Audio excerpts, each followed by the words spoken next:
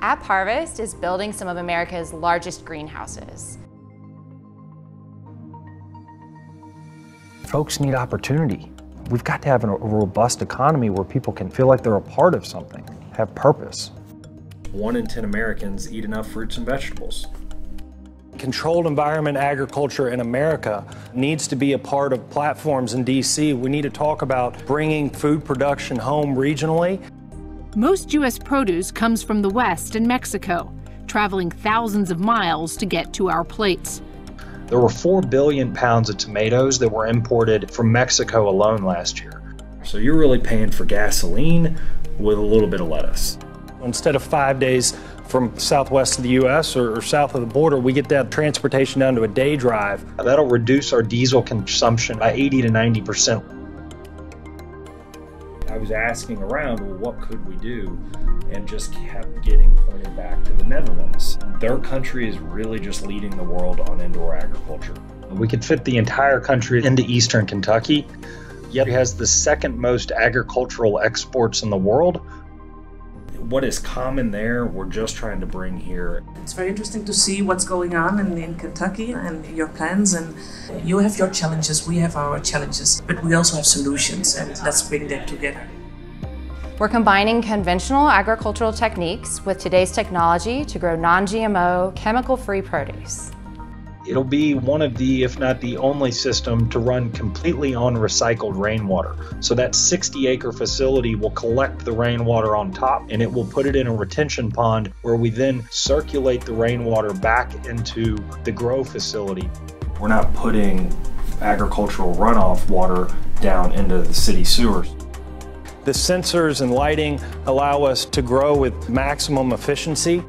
And when we came into contact with AppHarvest, they were looking for the best lighting solution. And we found that with a combination of LED lighting with HPS, we could achieve the best, uh, best situation.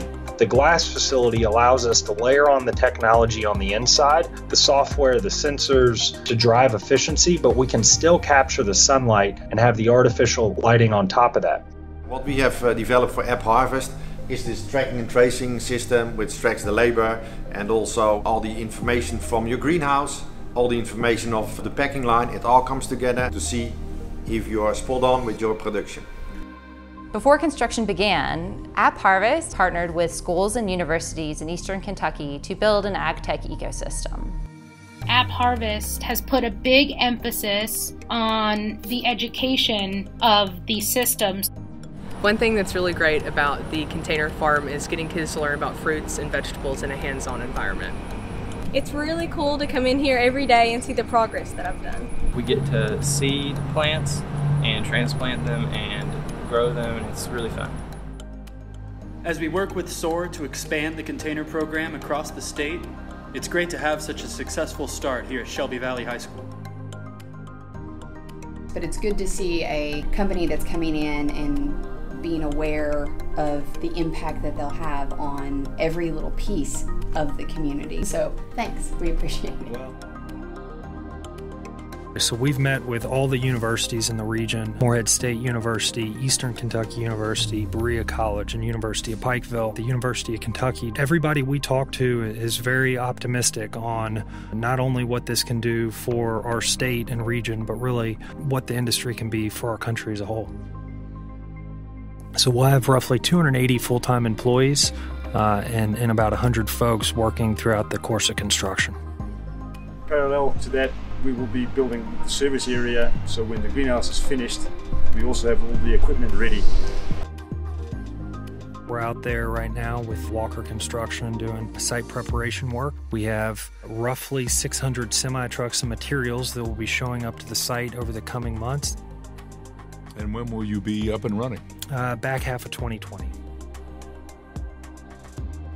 We will simultaneously be expanding beyond the Morehead facility. We are already in the process of selecting our next sites. What's unique about the AppHarvest project is because everything is contained in the greenhouse. The water is reused, CO2 doesn't get out into the open air, it's contained in the greenhouse.